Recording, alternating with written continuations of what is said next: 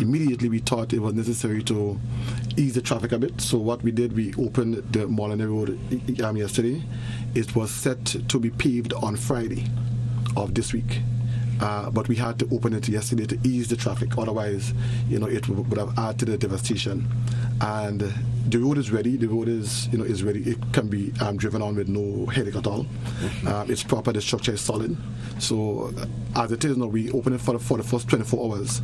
And while we are cleaning up the slides, most likely we will keep it open up until Friday.